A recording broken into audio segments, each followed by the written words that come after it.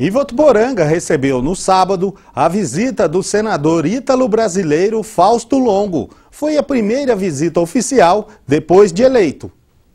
O arquiteto urbanista brasileiro Fausto Longo, de 60 anos, nascido em Amparo, tomou posse em março deste ano como senador na Itália. Eleito com cerca de 30 mil votos, desses 1.100 em Votuporanga, Longo assumiu uma das duas cadeiras a que o parlamento italiano oferece aos ítalo-descendentes da América do Sul. Somente os habitantes do continente com cidadania italiana têm direito a voto para escolher o ocupante do cargo, e somente as pessoas com cidadania italiana podem ser votadas.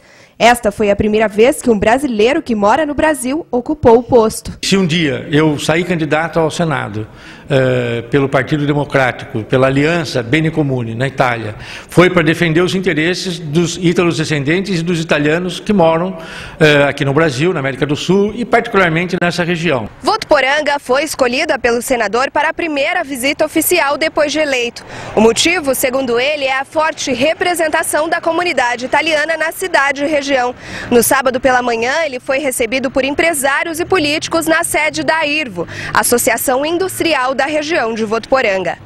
Na oportunidade, Fausto contou um pouco da sua história de vida e descendência, agradeceu aos votos que teve na cidade e recebeu também projetos de melhorias no elo Votuporanga e Itália dos representantes da comunidade. E eu acredito que ele vai topar muita coisa que a gente tem na cabeça para esse intercâmbio, porque a gente já fazia intercâmbio cultural, agora vamos fazer o, o intercâmbio comercial e industrial ao mesmo tempo.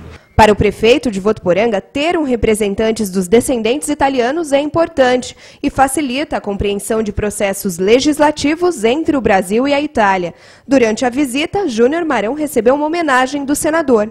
Com certeza nós vamos trazer muitos benefícios, principalmente nesse intercâmbio que pode ser feito aqui no nosso país, especialmente Votuporanga com a Itália.